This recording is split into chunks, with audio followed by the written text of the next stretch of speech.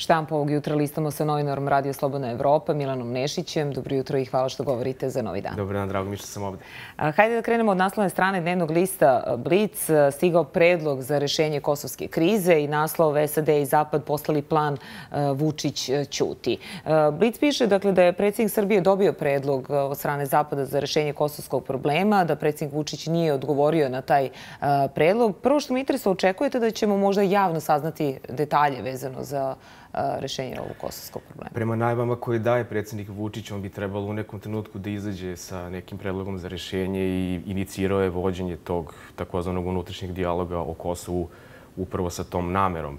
Šta će on da kaže i kada će da kaže vreme curi, a koliko mi je poznato, trebalo bi do novembra ili do kraja ove godine da se nađe rešenje za taj pravno obaveđujući sporazum kojim bi trebalo da se normalizuje odnosi sa Kosovom, ali mi nije jasno kako bi to i u kojoj formi moglo da se izvede s obzirom da smo imali ove slučajeve sa rukometom i karateom. Kako ćete vi sa jednom stranom uh, čije sportiste gotovo da ne puštate, odnosno zabranjujete tim da učestvuju na sportskim takmičenjima, da imaju potpuno pravo jer su članovi tih međunarodnih federacija, samim tim im uskraćujete ono što im je ne dato, nego što su zaslužili samim tim i za to snosite posledice. Za rukomet smo snosili posledice, za karate, koliko sam čuo od gospodina Espinoze, posle takmičenja bi trebalo da se zna pa ćemo sad da vidimo. E sad, ako te dve stvari nekako uparimo, da pogledamo... Ja... Ali je ovo odgovor? Dakle, da li je ovo neka vrsta odgovora što predsjednik Vučić nije dao nikakav? Pa, znate šta, on će, ako bude uh, bio u trendu da ispuni obećanje koje je dao, morati da da neki odgovor. On će morati da da neki odgovor i pretpostavljam da ti razgovori koje on vodi sa uh, predstavnicama međunarodnih institucija idu ka tome da da neki odgovor. Videli smo najavu predsednika uh, Kosova Tačija, da bi oni trebalo sa Angelom Merkel da se sastanu i da razgovaraju opet o nekom rješenju za Kosovo.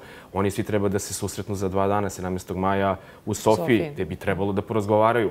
A, mislim, ono što je osnovno pitanje jeste kada se oni tamo sretnu neformalno, pretpostavljam da će uslediti pitanje šta je bilo sa karateom, o čemu se radi to.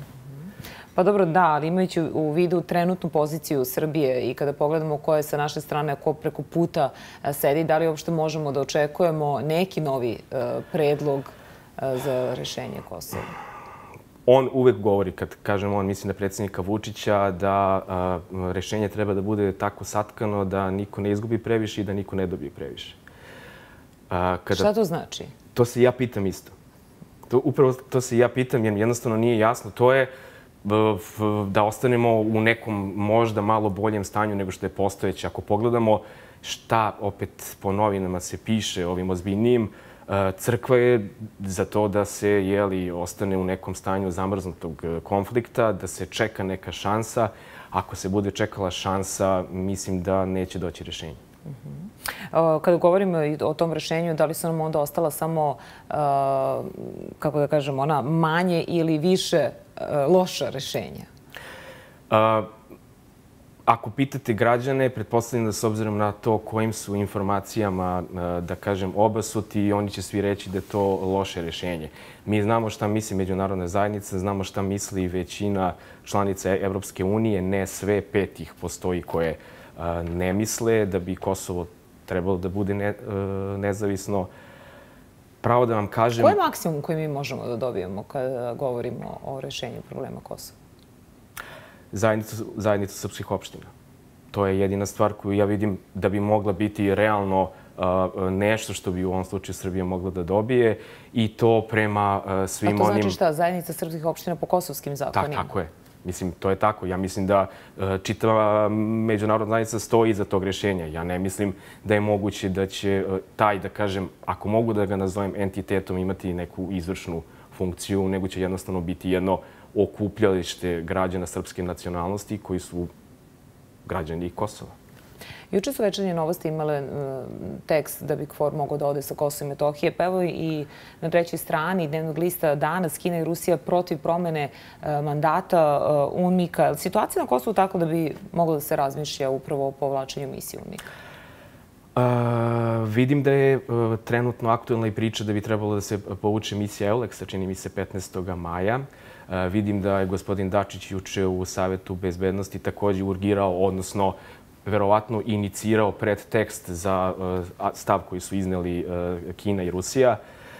Ne znam da li ste primetili tokom vikenda je gospodin koji je komandant Bonstila govorio, čini mi se, za novosti. Rekao je naravno da odluka u vezi sa eventualnim povlačenjem KFOR-a, odnosno misije NATO, mirovne misije NATO sa Kosova, jeste u opticu, ali ona treba da se donese. A to opet zavisi od toga koliko Kosovo kao, kao struktura, kao, kao entitet radi na tome, odnosno borbi protiv korupcije, vladavini prava.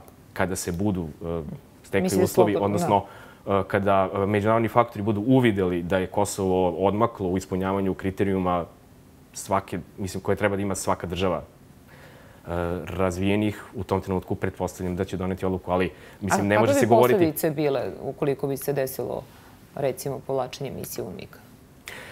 Nadam se i verujem misije UNMIKA a, mislim da, mislim da, ne, da ne bi bilo, ne verujem da bi bilo nekakvih posledica, jer se nadam da će i UNIK i Kosovo iza sebe uh, u najvećoj meri ostaviti nekakav uređen sistem kako bi trebalo da se funkcioniše uh, bez međunarodnog nadzora. Na sednici Saveta bezbednosti Jedinih nacija ruski diplomata je rekao da situacija na Kosovu ne ide ka normalizaciji, već baš naprotiv da se pogoršava. Kako vam deluje taj, taj stav? Pa na to bi mogla da utiče i e, činjenica da ubistvo Olivera Ivanovića nije istraženo, da se e, faktički o tome od momenta kada se desilo, a mislim da se desilo sredinom januara, e, ništa nije promenilo. Jedine informacije u javnosti koje su poznate jeste da postoji neki automobil čiji se vlasnik traži, čini mi se da nije nađen, odnosno mislim da je preminuo. Ako s te strane gledamo, stanje nije dobro, ali čini mi se da su sve strane na neki način odgovorne za to i nije mi jasno zbog čega Srbija, koja je dan, u tom danu, kako je predsjednik Vučić saopštio, započela svoju istragu, do sada nije u javnosti izašla ni sa kakvim informacijama, iako smo od njega čuli da će ubrzo to da se desi. Mislim, ubrzo od 15. januara, danas je 15. maj, petom okolnosti. Mi i dalje ništa o tome ne znamo. Tako da, eto. E, dobro, evo sledeća tema. E, izabrala sam dva naslova, naslovna strana e, politike i naslovna strana danasa. Meko srce MMF-a je jedan naslov i drugi tvrdnje Vučića i Brnabićeve su u sukobu sa razumom. Dakle, ova dva naslova bave se sugestijom MMF-a koja upuća na Srbiju, to je da se ukine zakon u kojem su smanjene penzije. Od MMF-a obično čujemo da treba da se Tako štedi, kajš, da, steže kajš. Međutim, evo, ovakav stav sada MMF-a je možda sve iznenadio od penzionera pa do onih koji su na vlasti. Sad će možda malo da vam zvuči čudno, ali uh, konkretno mislim da je ovde baš uh, reč o populizmu. Mm -hmm.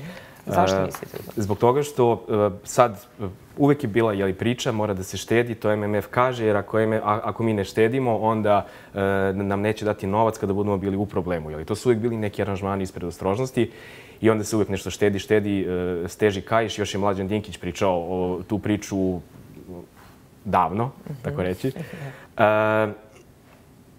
mislim da se u ovom slučaju uh, podilazi glasačkom telu. Jer ako se prisjetite, Milan Krkovović je pričao glasi za Vučića, bit će penzije. I sad, ako njih dvoje izađu u, u javnost rečenicom uh, mi brinemo o najsiromašnijima, a znamo da postoji veliki broj ljudi ovde u Srbiji koji prima uh, 13.000 dinara penzije po 6,5 polovina, eto vam jednog finog glasačkog tela koje će da kaže evo čovjek brine o meni, oni ne žele da mi uzmu, uh, pritom svaki dan možete da čujete, evo ponovo je Aleksandar Vučić izašao sa računicom, ovo je citat, znači ja, e, ko ima 25.000 imaće još 50. I, Kao je to? I to je bilo, to je, ima, imate po novinama, to je bilo juče, to je bilo prekriče. Naravno, on sad verovatno govori o nekoj kumulativnoj računici, imaće 50.000 do kraja godine, ili, jer sad on najavljuje povećanja ponovo. Iako nije vraćeno jednom delu građana, ono što im je tako reći zakonom o privremenom umanjenju penzija oduzeto. Ali to, kako vam zvuči sad obrazloženje da taj zakon iz 2014. godine ne može da, da se povuče zato što su bila povećanja penzija umeđu vremenu? Ja mislim da je to uh, pokušaj da se obrazloži uh, ideja da se uh, i dalje ljudima koji imaju najmanje penzije izlazi u susret kako bi oni imali utisak da se ovde o njima mari u ovoj zemlji uprkos tome što postoji recimo 2 do 5% građana koji su e, ozbiljne e, novčane svote izgubili tim zakonom o umanjenju penzija, znam za slučajeve po 12.000. Znači, nekim ljudima je uzeto 12.000 koliko iznosi najmanja penzija u Srbiji. Tako da to to je, tu treba da se složimo, ipak nije mala svota. Naravno da nije mala svota. Uh, bilo kome da se uzme pa i hiljadu pa naravno, uh, naravno. dinara, da pitate neko da vam da hiljadu dinara pa bi da. dobili odgovor. Ali kako je moguće, dakle, zakon može da se donese kada treba da se sačuva uh, finansijska stabilnost zemlje, koja je preporuka MMF-a, da. dobro, a sada kada MMF sugeriše da, da se taj zakon ukine, sada to, to ne može. Dakle, to jeste malo malo čudno. Uh, mislim da je to zaista uh, prvo, prva stvar koja mene zanima i ako budem imao, imao prilike, pitaću ga ne, negde, uh, da mi obrazloži to povećanje koje ima 25.000, dobit će 50, a druga stvar jeste činjenica da postoje dvostruki standardi, očigledno, kada je trebalo da, da se štedi, onda se MMF predstavlja kao neko ko je supervizor, na, nadzornik onoga što mi moramo da uradimo kako bi postigli fiskalnu konsolidaciju. Sada kada deluje da je do, odnosno jeste de facto došlo do fiskalne konsolidacije, videli smo juče informaciju o javnom dugu 59% bruto dušenog proizvoda, to je najniži javni dug, čini mi se, u poslednjih pet godina. Srbije, što znači da, te šte, da taj prvi ovaj, talas e, štednje jeste urodio plodom, ali onaj drugi, kada je ministar Vujović odlazio, e, bilo je priče. Restrukturiranje ovih preduzeća koje, koje ne rade e, otpuštenje u javnom sektoru, to se nije desilo. To je druga faza koju mi još nismo ni ušli i nije ni jasno ni kada ćemo ući, a moramo nekad da uđemo jer je aparat preglomazan. To, to je jasno. Mi smo mala zemlja za javni sektor koji, ja mislim, bile su priče 700.000 ljudi upošljava. To je u jednom momentu broj nezaposlenih i broj e, zaposlenih u javnom sektoru bio je jednak, čini mi se. Sada ja govorim o periodu možda pre dve godine. Mm -hmm. Dakle, neki tako. A, Milane, moram bi da vas pitam, koliko je danas i teško novinarima da pronađu teme koje su interesantne e, i građanima, čitaocima, slušalcima, a da nisu na, na terenu dnevne politike? Pa evo, ima jedna, ima jedna super tema. Znači, e, vidio sam je uh, aktuelne Vučica. Eh, razvija se. Znači, sada je dobila novi aspekt. Znači, svi smo mi preneli uh, informaciju da je u Mirivu ili pronađena vučica, da je ona smeštena u zoološki vrt i da će sta tamo da provede sve živote.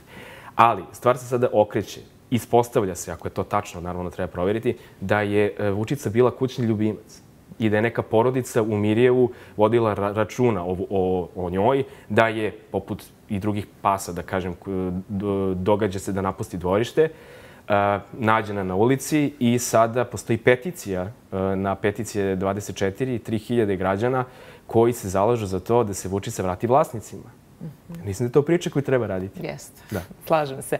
Ali evo, namjerno sam vas pitala i za teme, s obzirom da ste vi dobitnik uh, nagrade uh, NUNSA za elektronske medije i istraživačko novinarstvo za serijel o ilegalnoj uh, gradnji na Beogradskoj opštini Voždovac. Be priče. Čestitamo. Hvala. Da.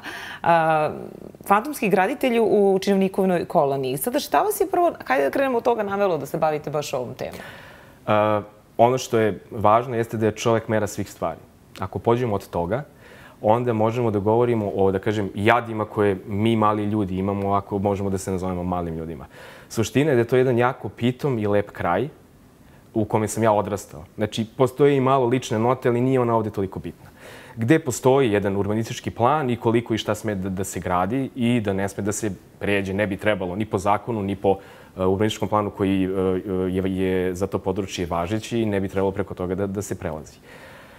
Pojavio se fantomski investitor koji je, e, kako su mi posle tamo e, komšije koje su se organizovale prenele, e, već kad je počeo da kopa temelj, bilo im je jasno da on izlazi van svih gabarita koji su dozvoljeni i predviđeni, prvo po iskorišćenosti parcele, zato naravno postoje neka pravila, pa su onda posle toga počeli da uviđaju i da spratnost nije adekvatna, tamo je to 3 plus 1, znači 3 sprata plus tavan, a ovaj čovek je podigao konstrukciju od 6 spratova.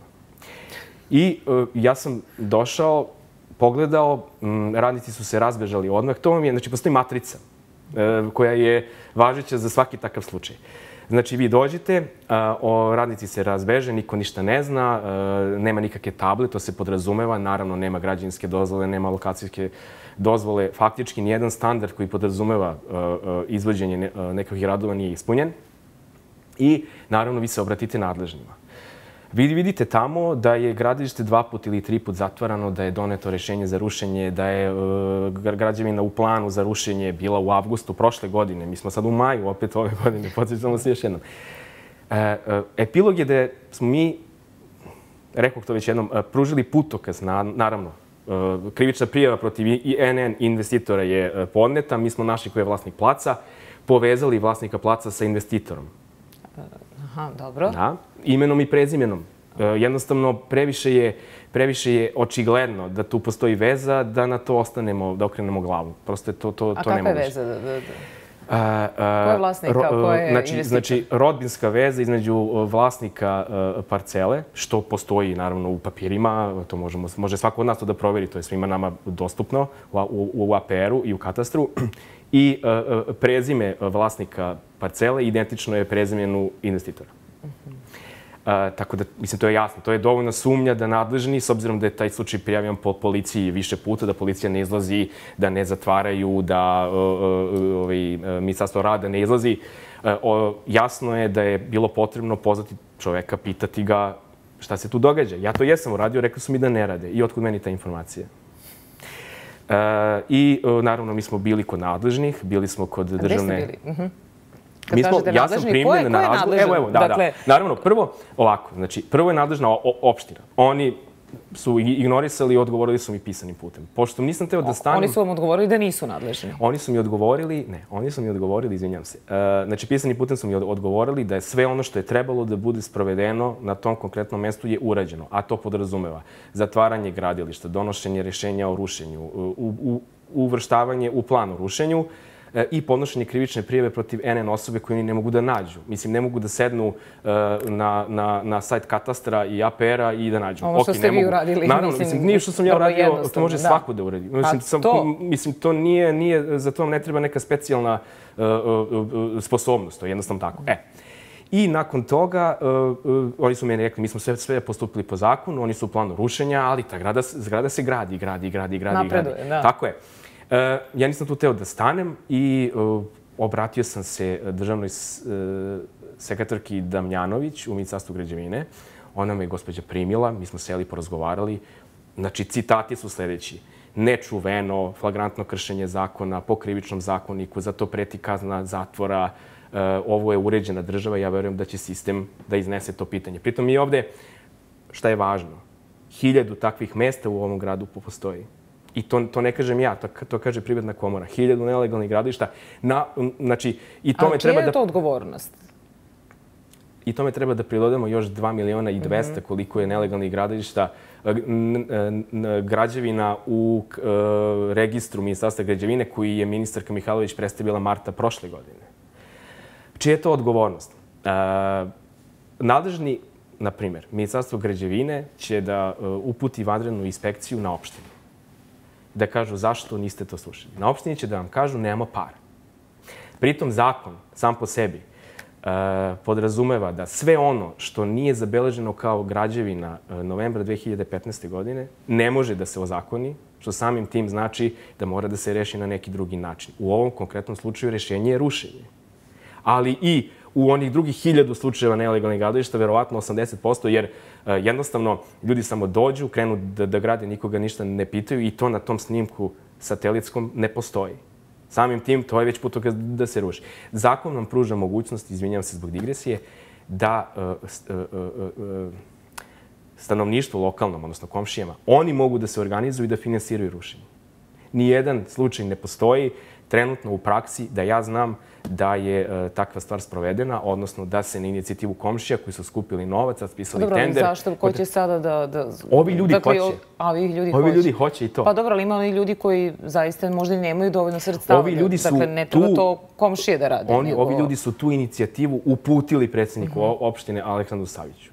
Oni su to hteli da urade. Oni su došli i rekli, super, ok, nema para, u redu, evo, mi ćemo skupiti novac, angažovati firmu, mi želimo da se to sruši, jer jedino rešenje je rušenje.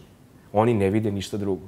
Jer ako se to legalizuje, odnosno zakoni, onda će se i na parceli preko puta koju je kupila ista firma, sagraditi još jedna ista Ako zgrada. dobro, a ko su ti ljudi? Jel su oni toliko moćni? To su ljudi, evo ono što sam uspeo takođe da pronađem, to su ljudi koji su, uh, a i kolege iz Birna su o tome izveštavale, uh, uh, renovirali fasade.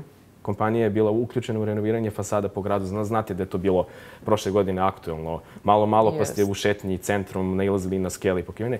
I to je kompanija koja remontuje trafostanice. Uglavnom uključena Kako se u zove remont ta trafostanice. kompanija? M Interior gradnja. A za zašto se nasmoju? Čiji je to interijer gradnje? Ali oni... To je jedan... Privatni? Privatni, da.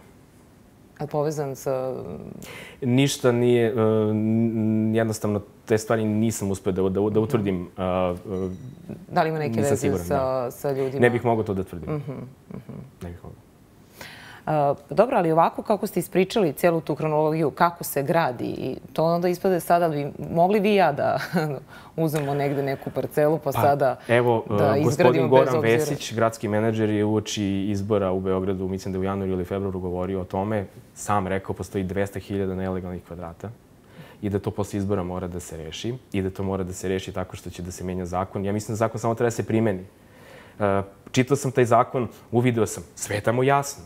Znači, e, ne možeš da gradiš bez Ja ne znam šta tu treba još da se menja. Prona, prikupi dokumentaciju, dobije odobrenje, gradi legalno. I obično čujemo može... prebacivanje odgovornosti. Dakle, da ova institucija nije nadležna, nego je neko drugi. Uh, a nismo još videli da se neko utrkuje, da, da reaguje kada su ovakve stvari pa, u pitanju. Pa, ne žele da reaguju. Uh, iako su proglasili prošlu godinu kao godinu borbe protiv nelegalne gradnje, pretpostavljam, znači zvanično obrazloženje jeste da nema novca, a mm, ja pretpostavljam da je reč o nezameranju nekom i o korupciji na više nivoa. Dakle, ta firma MN Trier, možda treba njih pozvati pa da pitamo Oni ne grade, to mi je rečeno. Znači, svi papiri ukazuju da grade, ali kada sam okrenuo i tražići više puta gospodina koji je direktor, naravno nije želeo. Čak sam i neke njegove podizvođače pronalazio na nekim drugim gradilištima, ostavio poruku da mi se javi da želim da porazgovaramo o tome je li to istina ili nije. Mislim, nije to mnogo teška stvar. Mi se nađemo, čovjek kaže gradim, ne gradim, ako gradi pokaže papire, ja kažem izvinite, ja sam pogrešio. Ali nisam siguran da sam pogrešio jer sve ostalo što sam našao ukazuje na jedno žensko ime, jedno muško ime, a dalje dokumentacija i na parcelu, znači mi govorimo o Milovana Marinkovića 27 na Voždovcu, preko puta je Milovana Marinkovića 32, vlasnik parcele je isti.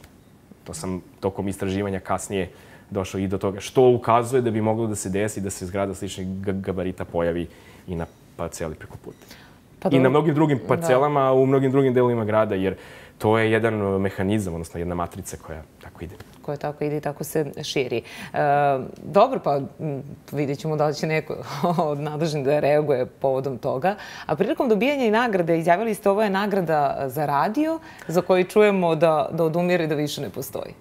Pa znate šta, mislim da uh, ja ne želim da verujem u to, ali e, činjenica jeste da vi ozbiljan informativni sadržaj ne možete da čujete danas na radiju, osim na onome koji je emituje Slobodna Evropa, pošto uh, mi pokušavamo da, uh, da radimo istraživački, analitički i da ljudima, čovek je mera svih stvari, da im pokušamo da, da prenesemo stvari koje su bitne i da oni posle toga sami donose neke svoje zaključke. Uh, a ostali radijski program je činjenica se sveo na tri pesme i neka zanimljivost.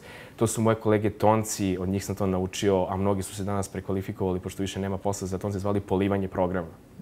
Imate voditelja koji poliva program, odnosno priča neku priču, najavi tri pesme, onda pusti tri pesme tim redosledom ili izmenjenim, kao da bude iznenađenje. I onda, i onda kao idemo dalje. Da, polivanje programa se to zove. Da. da. Pa dobro, svakako slobodno, radi Slobodna Evropa, to, to ne radi. Zaista imate uh, sjajne stvari, može sjajno mnogo toga da se čuje. Kakav je uticaj radija? Vašeg? E, znate šta, ono što znam sigurno, e, nisam imao u rukama e, neke, neke istraživanja pouzdana, naši slušalci nas zovu. Slušalci nas zovu, ako se nekada desi neki problem sa emitovanjem programa, to vam je najbolji pokazatelj, oni zovu i kažu, e, ne znam, ne čujete se tu i tu, jer mi imamo saradnju sa lokalnim medijima koji prenose naš program ovde ove, u Beogradu e, na spremnosti Studio B i onda uglavnom ni zovu i kažu čekajte, nije počeo program, pa šta se to dešava i tek onda vidite, krenu da, znači, u terminu emisije u pola deset i u 14, e, ako nešto pođe naopako, krenu da zvone telefoni i ljudi pitaju o čemu se radi, šta je bilo, što vas nema. Milane, hvala mnogo na, na hvala gostovanju. Hvala na pozivu, bilo puno mi je sreće. Dobro, drago nam je, puno sreće u daljem radu. Hvala. Štampu smo listali sa novinarom Radio Slobodna Evropa Milanom Nešićem.